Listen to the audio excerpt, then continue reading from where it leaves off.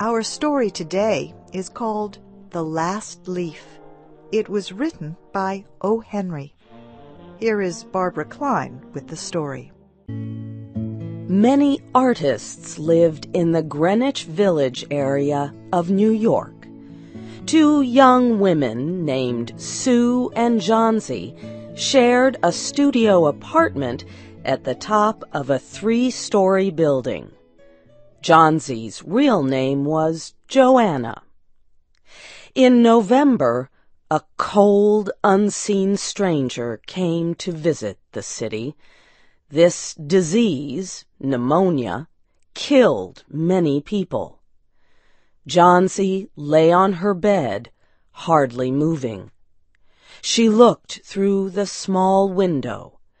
She could see the side of the brick house next to her building. One morning, a doctor examined Johnsy and took her temperature. Then he spoke with Sue in another room. She has one chance in, let us say, ten, he said. And that chance is for her to want to live. Your friend has made up her mind that she is not going to get well. Has she anything on her mind? She, she wanted to paint the Bay of Naples in Italy some day, said Sue. Paint? said the doctor. Bosh! Has she anything on her mind worth thinking twice? A man, for example? A man, said Sue, is a man worth... But no, doctor, there is nothing of the kind. I will do all that science can do, said the doctor. But whenever my patient begins to count the carriages at her funeral, I take away fifty per cent from the curative power of medicines. After the doctor had gone, Sue went into the workroom and cried. Then she went to Johnsy's room with her drawing board, whistling ragtime. Johnsy lay with her face toward the window. Sue stopped whistling, thinking she was asleep. She began making a pen and ink drawing for a story in a magazine. Young artists must work their way to art by making pictures for magazine stories. Sue heard a low sound, several times repeated. She went quickly to the bedside. Johnsy's eyes were open wide. She was looking out the window and counting, counting backward. Twelve, she said, and a little later, eleven, and then ten, and nine, and then eight and seven, almost together. Sue looked out the window. What was there to count? There was only an empty yard and the blank side of the house seven meters away. An old ivy vine, going bad at the roots, climbed halfway up the wall. The cold breath of autumn had stricken leaves from the plant until its branches, almost bare, hung on the bricks. What is it, dear? asked Sue. Six, said Johnsy quietly. They're falling faster now. Three days ago there were almost a hundred. It made my head hurt to count them. But now it's easy. There goes another one. There are only five left now. Five what, dear? asked Sue. Leaves on the plant. When the last one falls, I must go too. I've known that for three days. Didn't the doctor tell you? Oh, I never heard of such a thing, said Sue. What have old ivy leaves to do with your getting well? And you used to love that vine. Don't be silly. Why, the doctor told me this morning that your chances for getting well real soon were, let's see exactly what he said. He said the chances were ten to one.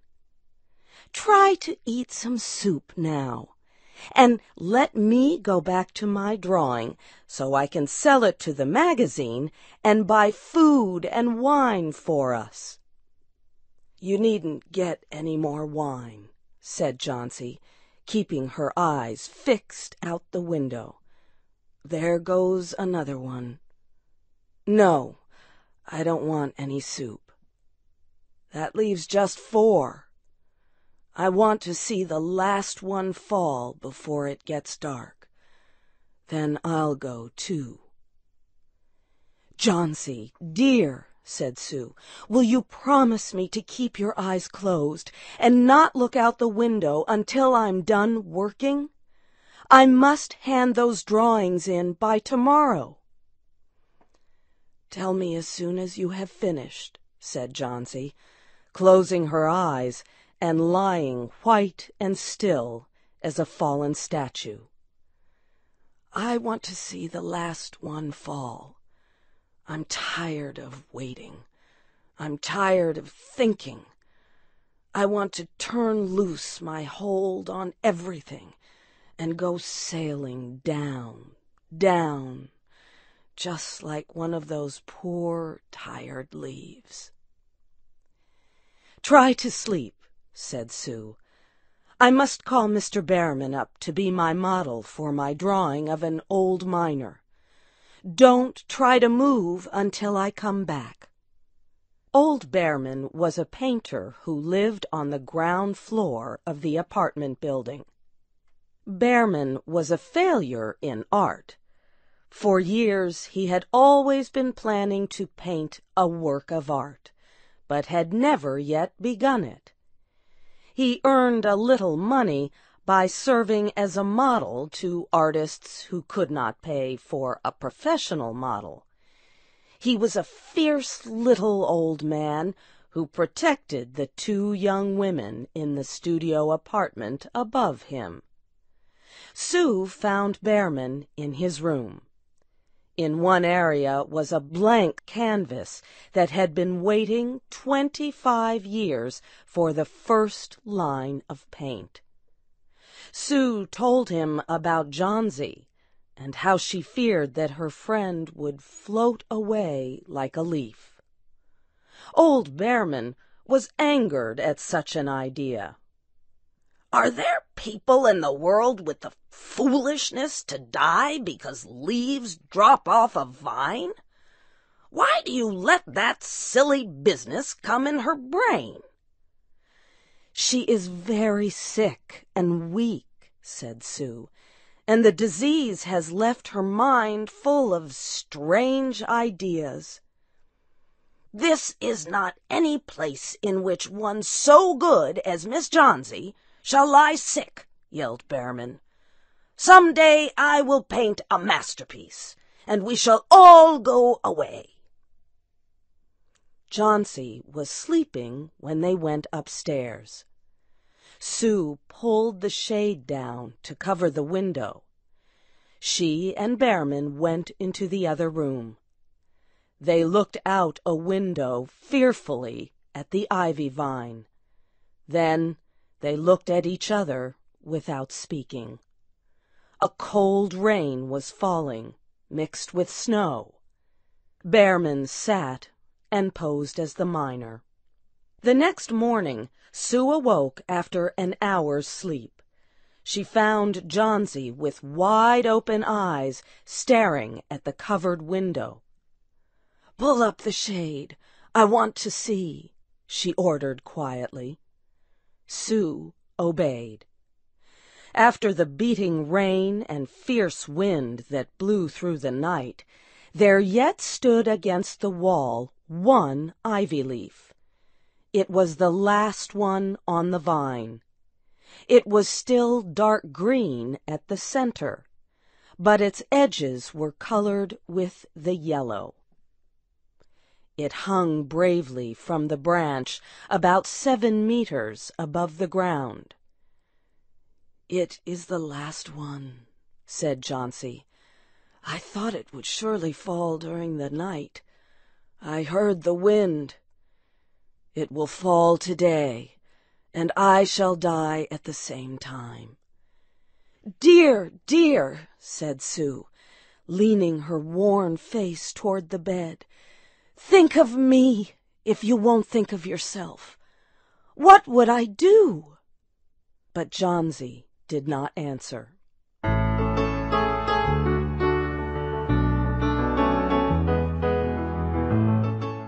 The next morning, when it was light, Johnsy demanded that the window shade be raised. The ivy leaf was still there.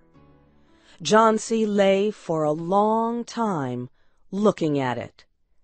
And then she called to Sue, who was preparing chicken soup. I've been a bad girl, said Johnsy.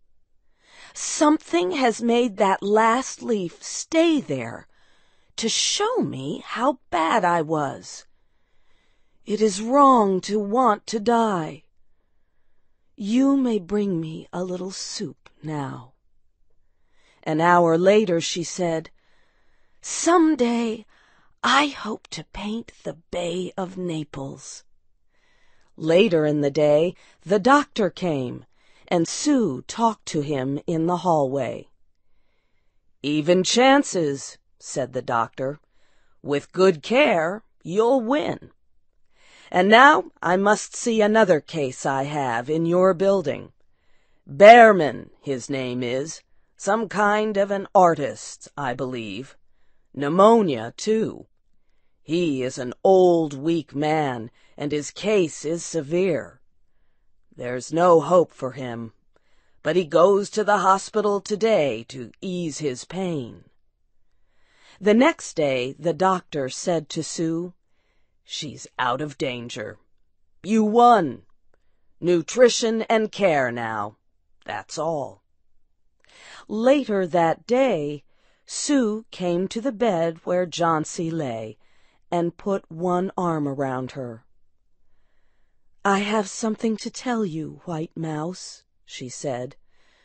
Mr. Behrman died of pneumonia today in the hospital. He was sick only two days. They found him the morning of the first day in his room downstairs, helpless with pain. His shoes and clothing were completely wet and icy cold. They could not imagine where he had been on such a terrible night. And then they found a lantern, still lighted, and they found a ladder that had been moved from its place, and art supplies and a painting board with green and yellow colors mixed on it. And look out the window, dear, at the last ivy leaf on the wall. Didn't you wonder why it never moved when the wind blew? Oh, darling, it is Behrman's masterpiece. He painted it there the night that the last leaf fell. You have heard the story The Last Leaf by O. Henry. Your storyteller was Barbara Klein. This story was adapted by Shelley Gollust and produced by Lawan Davis. I'm Faith Lapidus.